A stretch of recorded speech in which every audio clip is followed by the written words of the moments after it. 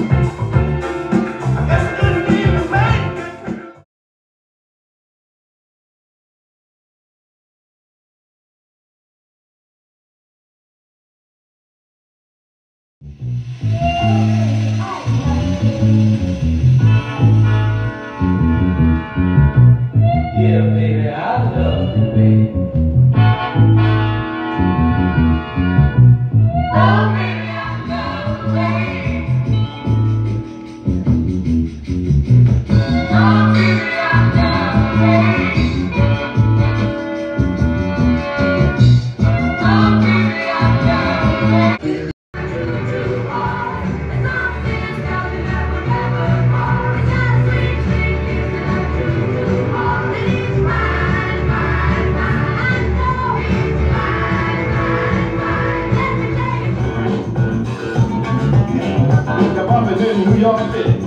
And L.A. will